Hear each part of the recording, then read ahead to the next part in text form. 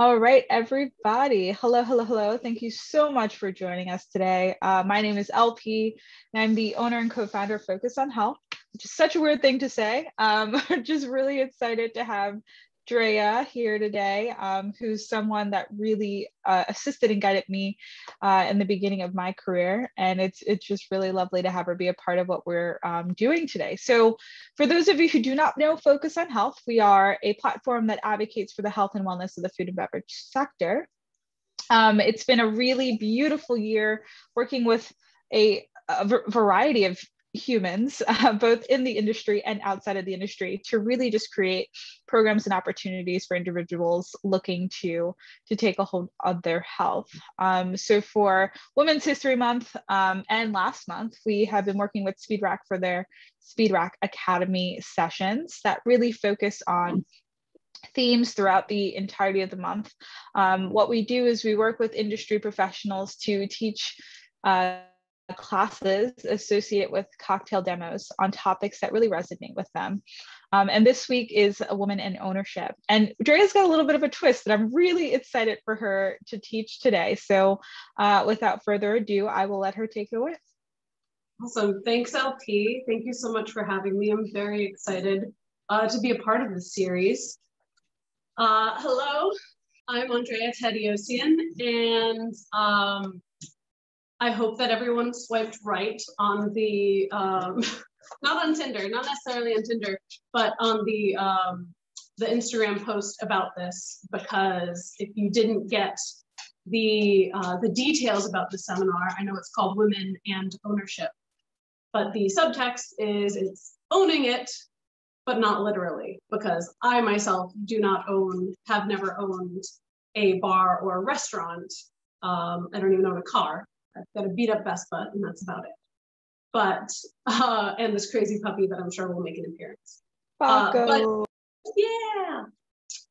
But in terms of ownership, I want to talk about owning your growth, owning your own progress, and then taking ownership in your own community.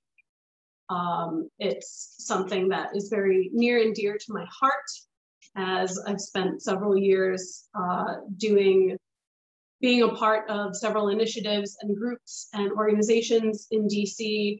And uh, I'm very grateful for the community here because it's extremely supporting, um, supportive rather.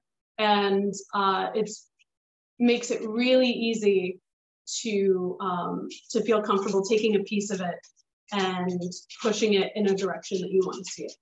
So we'll be getting into that, but we can, oh, sure you saw the tail. Um, but yeah, we can jump right into the slides.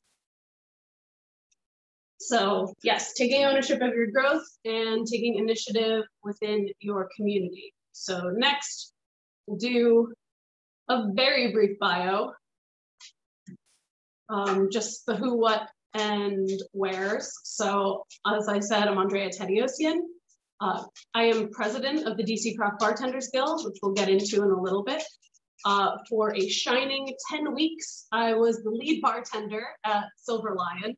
We had uh, five weeks of training and we were open for five weeks and then we got fur furloughed. So very much looking forward to jumping back in there. Um, but currently I am assistant editor for The Blend is my part-time job uh, during this pandemic situation. I'm located in Washington, DC, and I've been bartending in DC since bartending in DC and otherwhere, otherwhere, wow, other places since about 2010 until the present. And by bartending in the present, that's basically the setup you see here and not much else.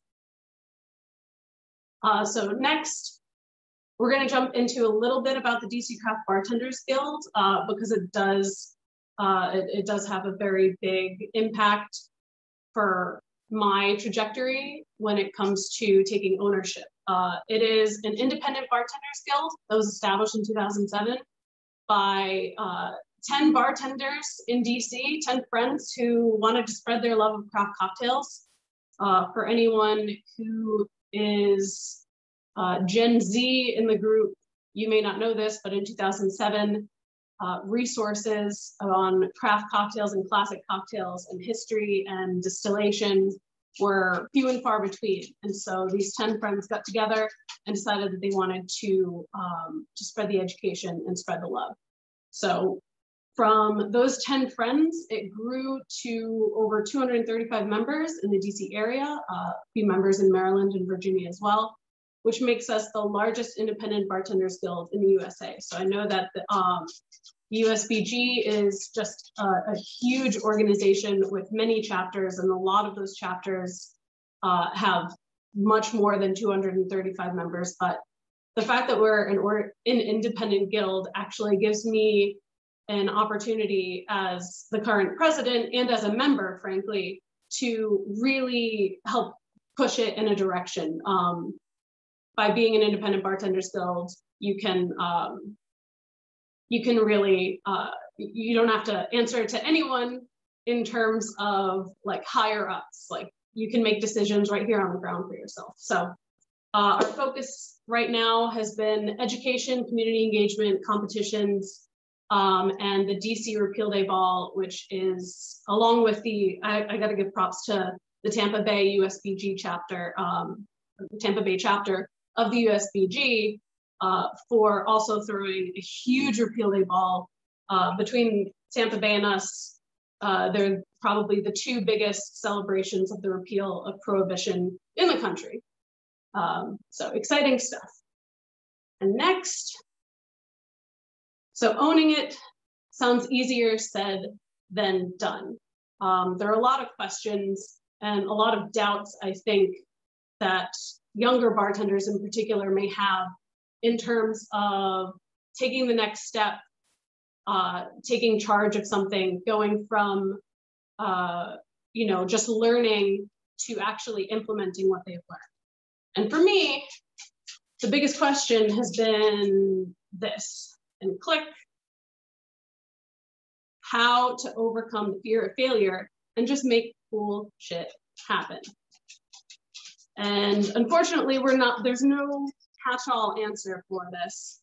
But on the next slide, there's part of it. And I know it's not helpful. Roll up your sleeves and get to work. I know it's, it sounds like the most annoying, obvious, unhelpful piece of advice, but we'll get into it a little bit later. Um, and if you click, we'll see the number one question is where do you even start? When you're trying to take ownership in your community, when you're trying to own your own growth. Um, where do you start when you're trying to start something new? And the answer is click. You start small. I hope you can see this on your screen because I can't. You start small. You have to start somewhere. Um, you know, looking at Speed Rack today as an example, if you've never, if you're just jumping into bartending and you just hear about Speed Rack today, it sounds like um, it's always been this global, giant, amazing uh, competition that also includes all of these seminars.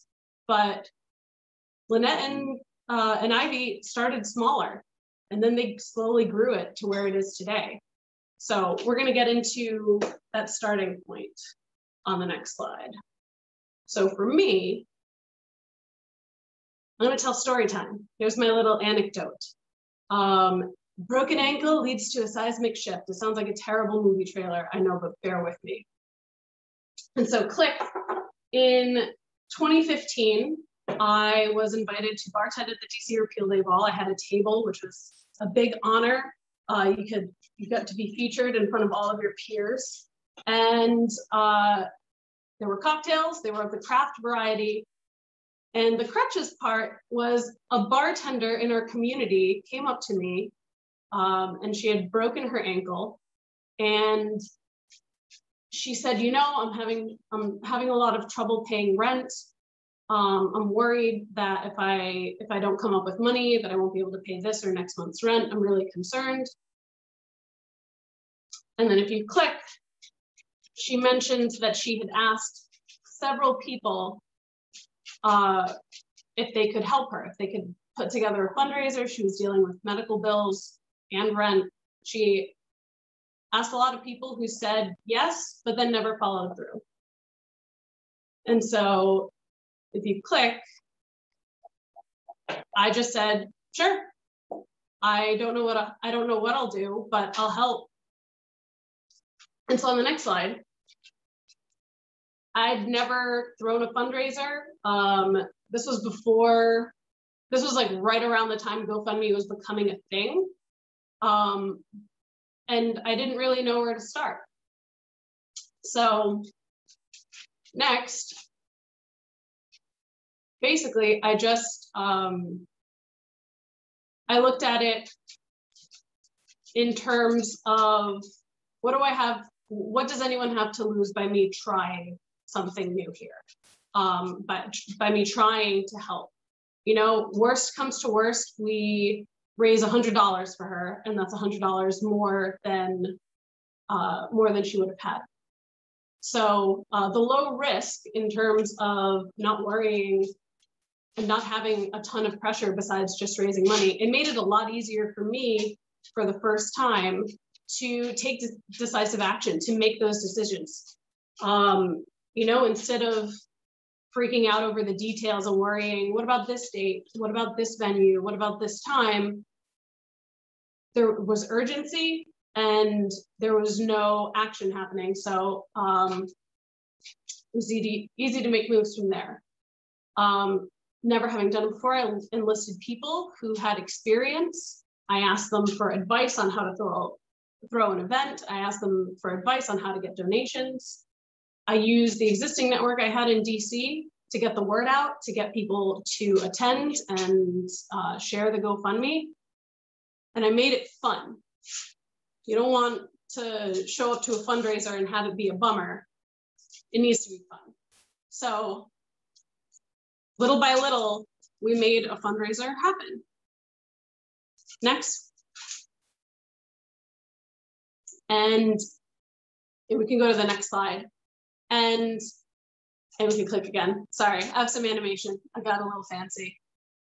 And so by taking that one step, I got completely hooked to making shit happen. It was that easy. It was reaching out to people, um, throwing a party, which I loved to do. And all I had to do was just make it start somewhere and just make it happen. So that's why the cocktail we're gonna make now is the self-starter. So if you click, we've got the recipe that I'll be making right here. Um, and I had to, of course, include a quote from Hamilton. Got a lot farther by working a lot harder by being a lot smarter by being a self-starter by 14. They placed him in charge of a training charter. So I love that quote. And I also love the self-starter as a cocktail. Um, so that's gonna be the first one that I'm gonna make right now.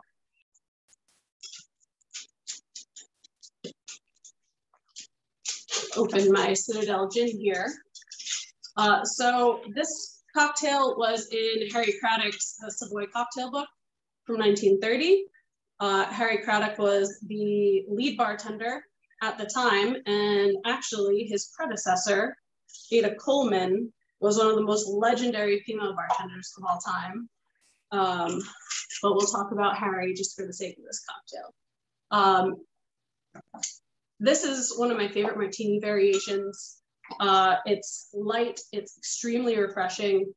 And nope, I haven't worked in mills for a while. right? I was trying to do this the other day. We so we used to work at Silver Lyon together, and Britt, who's here as well. And I was like, "What are mills?" I I picked up a couple of shifts at Bresca during restaurant week, and they used mills, and I was really excited and really scared. So I don't know what I just saw, but Fred said, "Get that double jigger life together." Bro, the pandemic, whatever. Um, so I'll convert to to ounces. Um, it's 45 mils or an ounce and a half of Citadelle gin, 30 mils of Cocchi Americano, uh, which is about an ounce, and 15 mils or about a half ounce of apricot liqueur. Um, the original cocktail recipe calls for it to be shaken, um, but we're not going to do that because uh, because no, I'm not sure the original uh, reasoning for that, but we're gonna go ahead and stir our cocktail. And then ordinarily our cocktail glasses would be chilled at this point, but um, like I said, pandemic bartending at home. So give this a nice stir. And because it's freezer ice, I'm not gonna stir it for that long. And then we'll just spritz the glass with a little absinthe and strain it.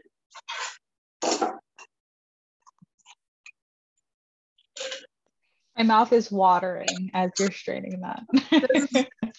one of my all-time favorite like classics. I wouldn't say it's like a complete unknown. I know that um I think it it, it regained popularity primarily at Raines Law Room in New York. Um, but just outside of that, I don't see it really on menus or that much. But uh, yes, this is a, a self starter.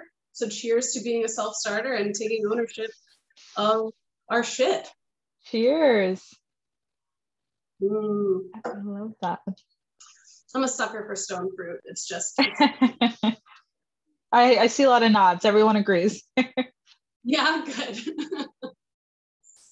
um, but yes, let's let's jump back to story time. So uh, throwing that fundraiser, we actually were able to um, we were able to raise like a month and a half of rent for her. We threw a big party um, and it went great. And the assistance that I got from the community was really what gave me the confidence to continue, um, you know, continue pushing forward and trying new things and trying to make shit happen. Um, so the takeaways that I got from the actual, yes, so the aftermath. So after that event, I just, I was hooked. So I started taking on more responsibilities. Um, I ended up coordinating a May Day party at the bar I worked at. They gave me a $250 decorating budget and said, do whatever. And I built a maypole and we threw a really fun party. Um, I ended up getting involved with the charity committee through the DC Craft Bartenders Guild. Uh, for brevity's sake, I'm just going to refer to it as the guild for the rest of the um, for the rest of this uh, the seminar. Um, I ended up becoming the chair of the volunteer of the charity committee rather, and we threw some really fun events. Um, one of which was a Friendsgiving that we did in conjunction with the USBG in DC, uh, which was a week of volunteer opportunities. And then everyone who volunteered got to come to a Friendsgiving uh, party, which was really lovely and really fun.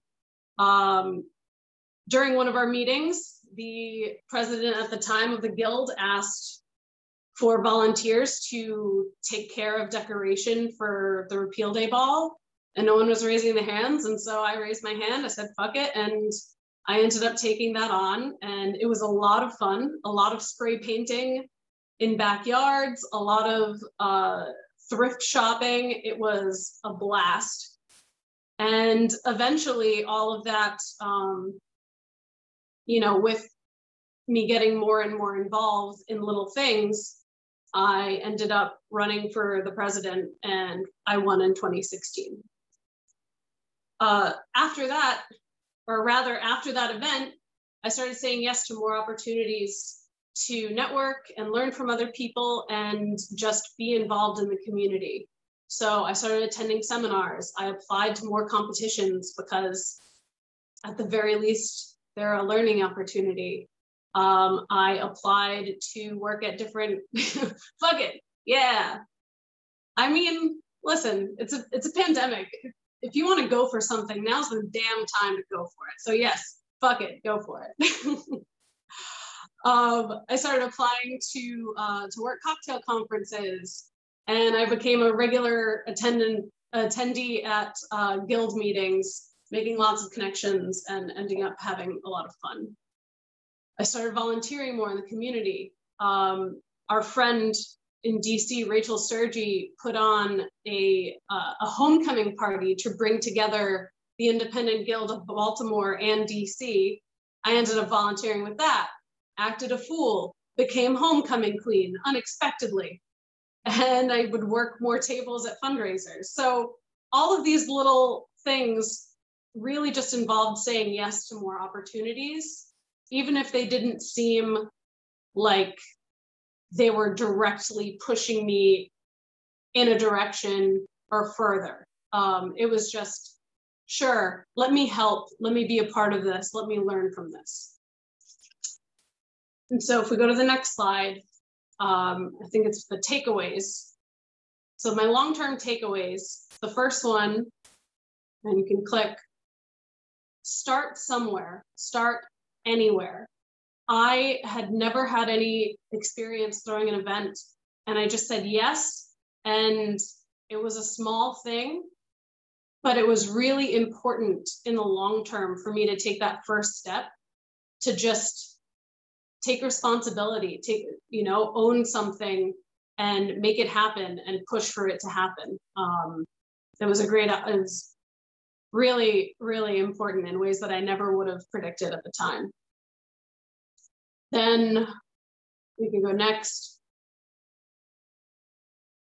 Don't, now this was huge for me. I don't know if anyone else uh, worries a lot about messing up or failure. Again, it was mentioned in the beginning of the seminar, but don't let the pursuit of perfection stop you from making things happen. Uh, sometimes the fear of not doing everything exactly the way it should be can emotionally and mentally and sometimes physically be paralyzing.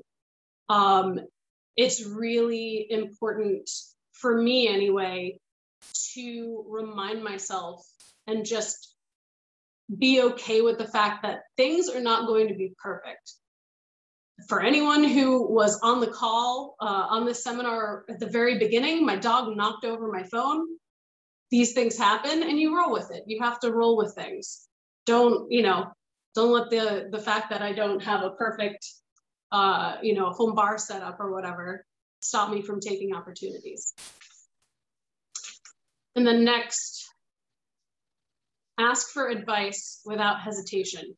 Um, there are so many people in this industry who, if they haven't been exactly where you're trying to go or helped or done exactly what you're trying to do, they still can provide some sort of guidance. And most of them are more than happy to. Um, it's not necessarily, I know the word mentorship is thrown around a lot. And uh, you know that's that's a different conversation for me. But just asking for advice and reaching out and just saying hey i've never done this before. Any tips? You know be specific in what you're asking about don't ask for someone to plan or build something from scratch for you but um, you know reaching out to people i didn't have any brand contacts that I really utilized before I did that event. Um, asking around helped. And then next, don't wait for anyone to tell you that you can take the lead, just do it. So if anyone that's on this call is waiting for a ray from heaven to come down and someone to tell you you can lead, yes, it is your time. You are capable um, consider consider this your sign. Consider this your sign from wherever. You can do it. It's as scary as it might seem. I promise it's not that hard. It's not that hard to throw a fundraiser or to change someone's life or to throw a competition that that leads to education. It's really you just have to do it. I know it, it may not sound helpful, I'm sorry, but it's the reality. And then finally, a leader doesn't ask for permission. I love that, yes. Or, or approval. Leaders shouldn't need approval. And if you plan it, they will come. If as, and this is specific to events or competitions or seminars such as this, if you plan it and you plan well, people will come. People want to come to events and fundraisers, and people want to come to seminars to learn.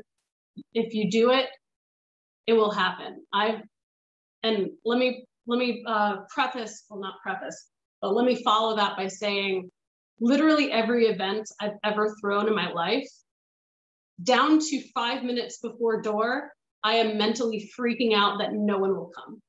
Doesn't, and it's just how my brain works. It doesn't matter how many tickets were sold. It doesn't matter how many times, how many people liked it on social media, how many times it was shared. Um, that, you know, that that worry that what you're doing, that your passion isn't resonating with other people, it's real, it's valid, and don't let it stop you. So next, trying to remember what order I did slides. Ah, yes. We're gonna go to our next cocktail. Um, I'm super excited because this is the second cocktail where the lyrics just really work. I'm not, I, I can't really see it from uh, from my distance, but LP, do you want to wrap this one? Do you want to do you want to say the uh, the Len lyrics? I can definitely try. Thank you so much. I'm gonna I'm gonna say it like a poem, y'all. Yeah. And of, and of course you can't become if you if you only say what you would have done. So I missed a million miles of fun. I know what's up for me if you steal my sunshine. Yeah. I'm really I'm realizing as I was saying it as a poem, that's definitely not the way it goes. So I apologize for butchering that, y'all. oh my god. Yeah. Um any of you like 90s babies, I'm sorry from the bottom of my heart if you haven't heard this song before. Um, just the one hit wonder of it all. It's too good. So um, if you click, we're going to get to the point of me putting a Len lyric in there, which is I'm going to make a sunshine daiquiri. Um, as I learned a couple of years ago, sunshine is a style of cocktail. You can make a sunshine whiskey sour, you can make a sunshine Collins. Um, it's kind of like a regal in that you're shaking it with something uh, with something in the shaker. So this sunshine daiquiri is such because we're going to be shaking it with a lime wedge in the shaker. It's going to add a little bit more juice, a little bit of the aroma from the oil as well. So normally I will make my classic daiquiri with a little bit less syrup, but because we're adding a little bit more lime, we upped it to 20 mils. So I'm gonna get started with 50 mils of plantation three stars.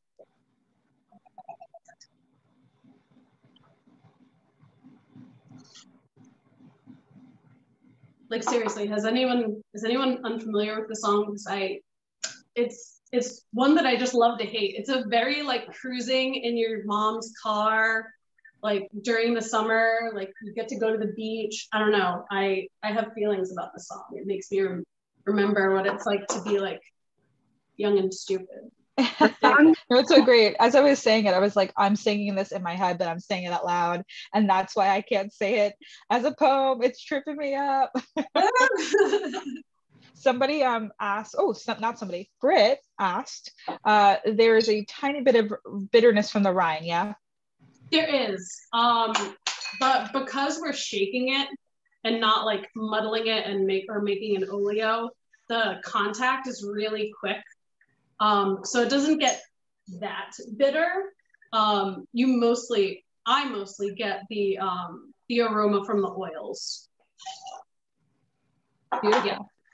And usually, usually I'll use um, a sixth of a lime, but the lime that I got today was freaking gigantic. It was just monster lime, so I'm using an eighth. And yeah, just toss it in the shaker and go to town. At least it's not a DC lemon because you know those lemons have like a million seeds. Oh my gosh. Yep.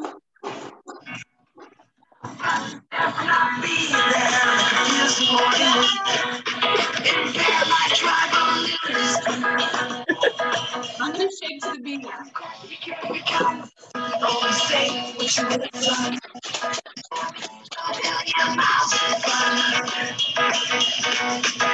Oh, that just made me smile so hard.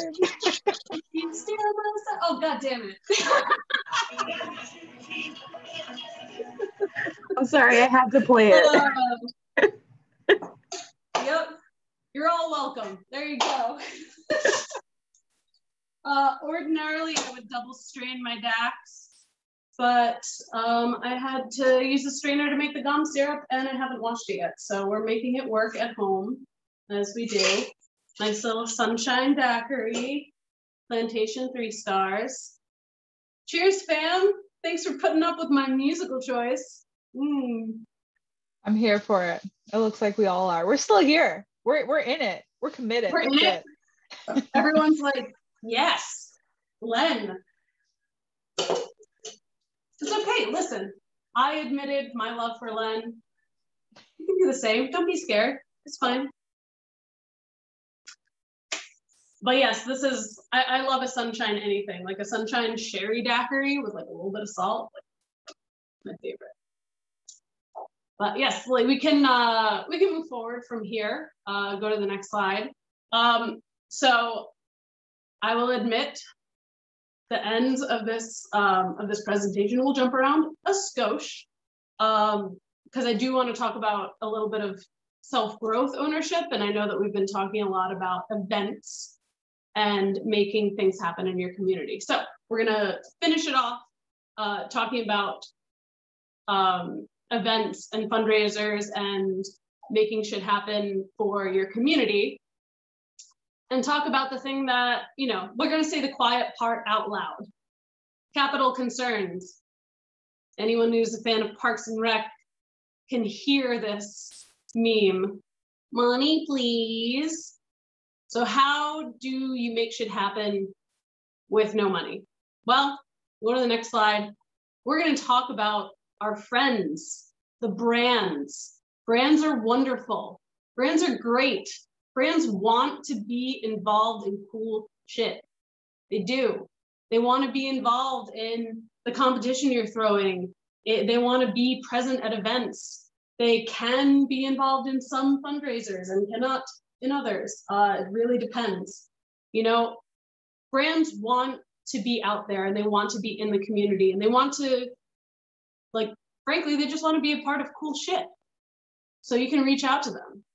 Brand managers want you to reach out to them. They want to hear your ideas, the opportunities you have to partner. I just had a brand uh, manager call me the other day and ask, "What do you need?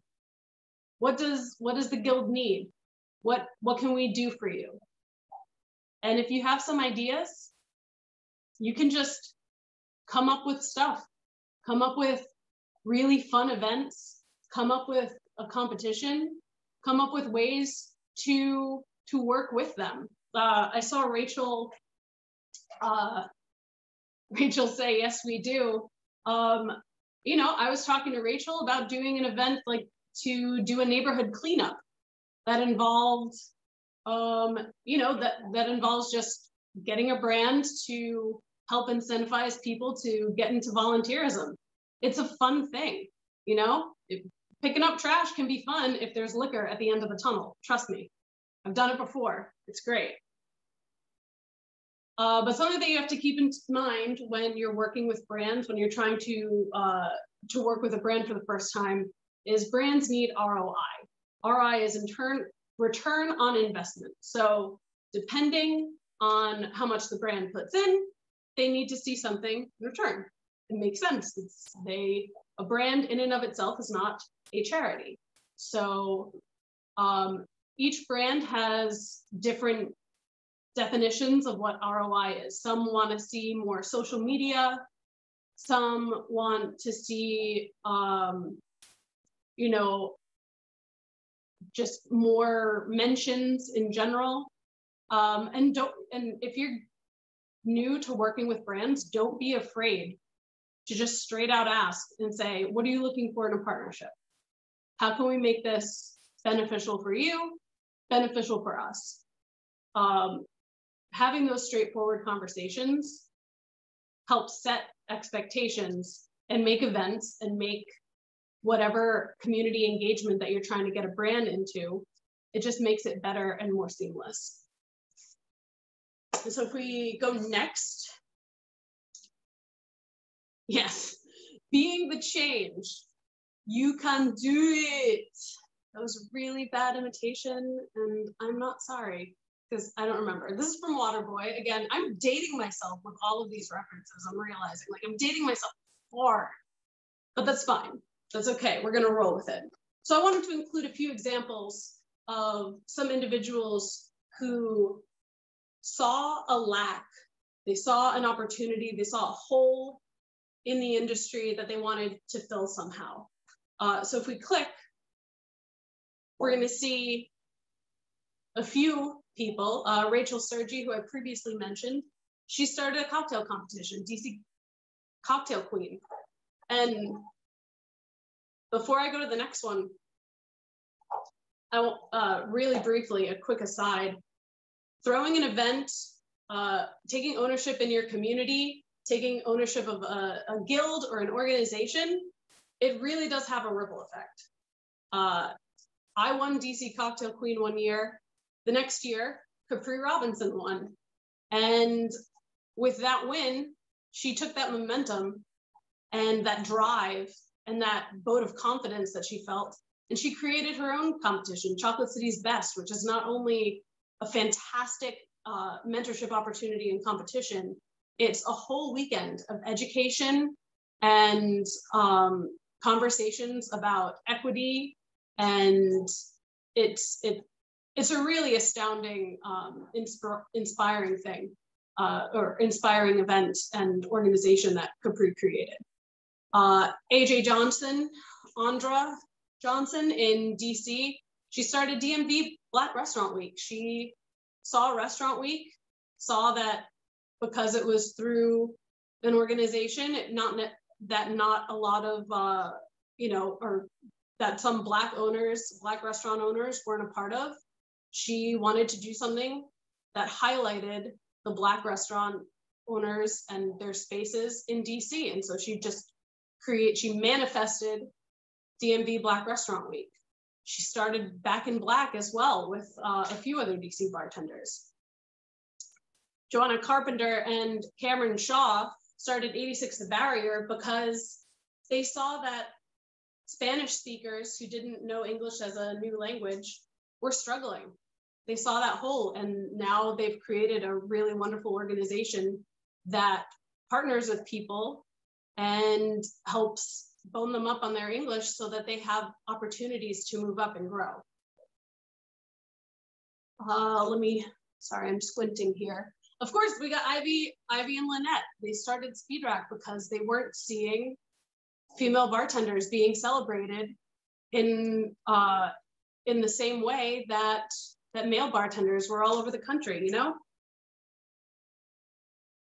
they saw a lack, they filled it, and then Lauren Paylor, you know, LP right here, and Alex Jump started FOH.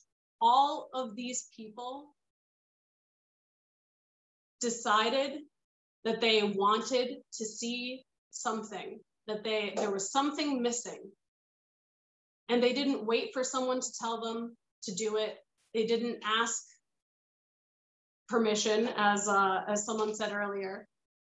They figured it the hell out and they made it happen. And it's it's an amazing thing when people take ownership of, in their community because that's when change happens.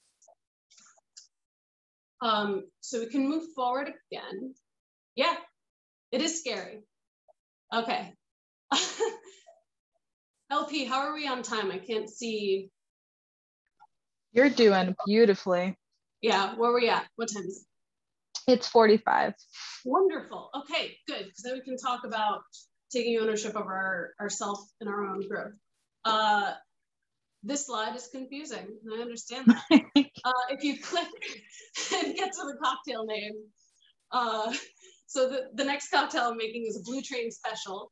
Um, to keep in theme with the other cocktail slides, I wanted to include a lyric, but all of the songs that were called Blue Train are really sad, except for the one by John Coltrane, which is all instrumental. So insert trumpet sounds here, Blue Train Special. We're gonna go back to Harry Craddock at the American Bar. Um, and I, I love this cocktail. I this is one of the first classic cocktails on a menu that I worked. And um, it's just a really happy, sexy bubble cocktail, which you can't go wrong there. Uh, so, what was that? I love when people use the word sexy for cocktails. I really, I don't know why. It's just like one of those things that just makes me so happy. I'm like, yes, it is a sexy cocktail.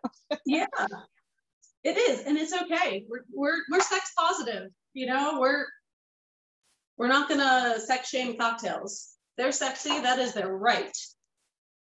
So I made uh, I made a pineapple gum syrup. We're using 10 mils of that, which comes out to um, I want to say about uh, it's a, a, third of an ounce. It is a third of an ounce. What am I talking about? It's a third of an ounce. And then we're going to do 30 mils or an ounce of Pierre Ferrand 1840 cognac, hence the sexy in the Blue Train special. Um, as a little aside, there is a cocktail called, it, that's also in the Savoy cocktail book called, I think it's just called a Blue Train. And it's a completely different cocktail um, that I have never had. Um, I probably will never have because, because it calls for a few drops of blue vegetable extract, which I don't know what that is. I don't need to know what that is. You've think. never had a blue vegetable? What? I mean, you know, I've I've definitely felt blue while eating vegetables when I was a child. Like that was a thing. But um, otherwise, no. So yeah, just very simple. 30 mils of cognac, 10 mils of pineapple gum, a quick stir. And again, this is another one that called to be shaken. And I'm just like, Harry, my guy, what, what are we doing? But you know, he did a lot of things right. So I'm, I'm not gonna give too much stuff. Quick stir, using the same strainer because pandemic.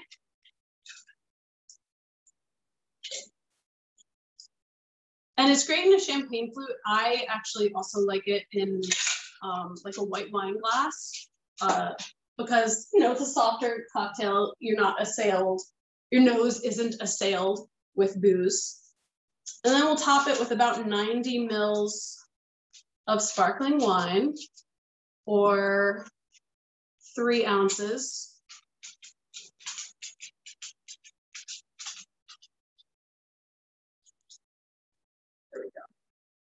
And you know, when it comes to um, when it comes to champagne cocktails, when it comes to garnishes, I don't know why or any sparkling wine cocktail, I always prefer a curly Q garnish.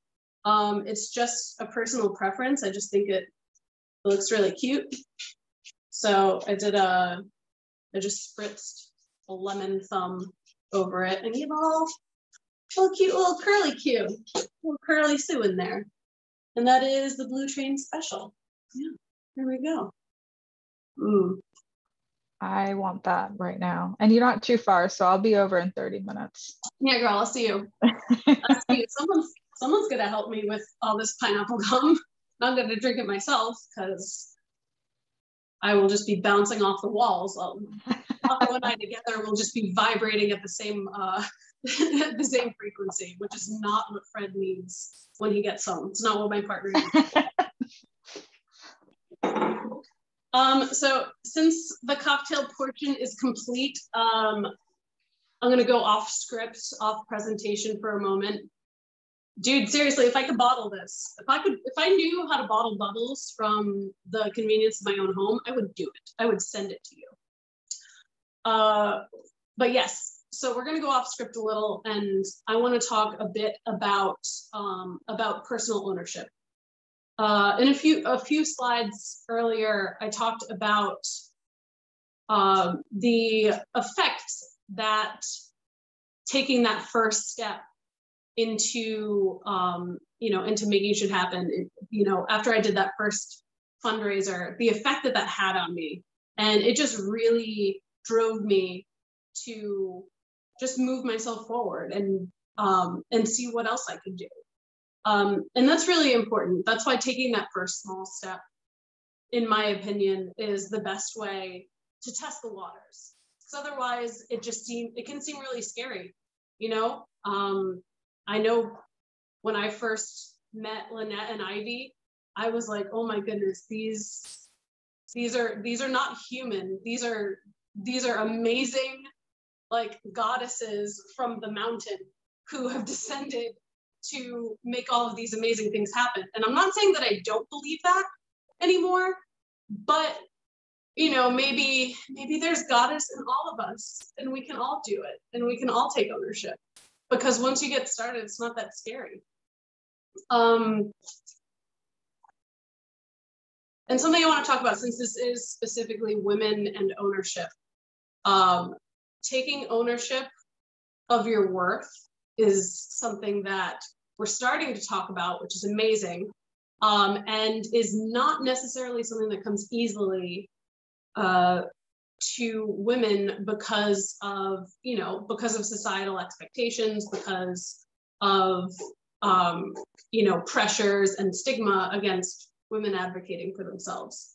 Um, when I found out that uh, Mr. Lyon was opening a bar in DC, I had been bartending for almost 10 years and I had been involved in enough in DC and I finally had enough like belief in myself to say, I'm not just gonna apply to be bartender.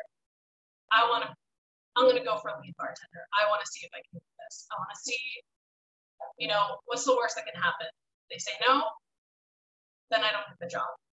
And it was really scary. I felt I felt a lot of doubt. I was like, who the fuck am I to be a lead bartender at a lion bar?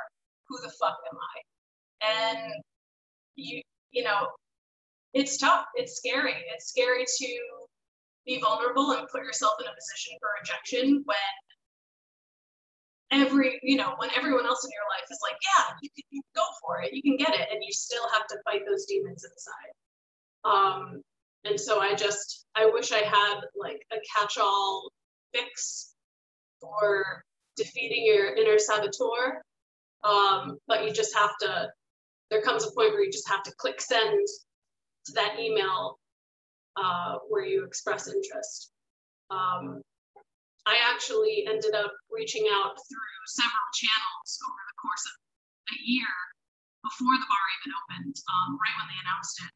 Uh, just immediately reached out because I was like, this is what I want.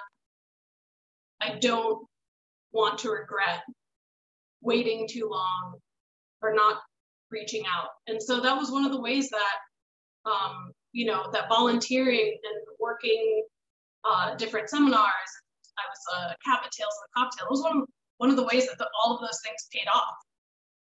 One year I met Ryan. Um, I met Ryan Shetty in the kitchen at Tales the Cocktail because I was volunteering and he was there. Um, I didn't think anything would come of it, but we ended up ended up working together for a short time last year until the pandemic hit, and it was amazing.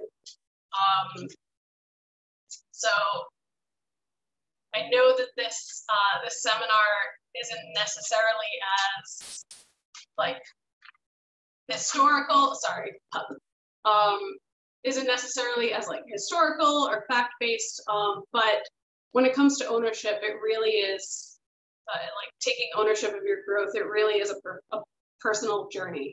It's different for everyone, and I promise you, if you have put in the work if you have worked to educate yourself, worked to further yourself, if, if you're if you're trying to to just make your shit happen, it can happen and it will. It's just a matter of you know taking that taking that step to make it happen.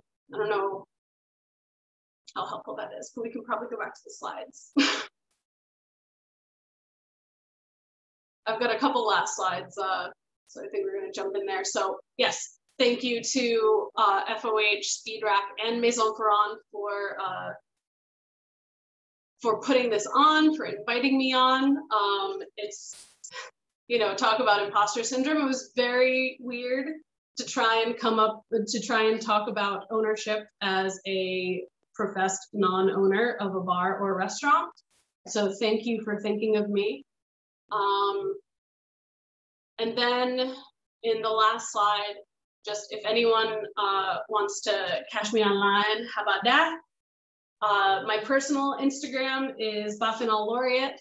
You can follow the DC Craft Bar Guild if you are interested or curious about creating an organization in your own community um, or just seeing what you know a scrappy little guild does because we do some we, we throw some goofy goofy things we, we do some bullshit um, and if you're interested in uh, following my dog his instagram is something to pop about i'm sure you only saw his tail during uh, during this but oh he's playing with his phone now good nice and loud but yeah that's what i've got i don't know if there's any questions lp that have come in not yet, but I I really enjoyed this. Thank you so much.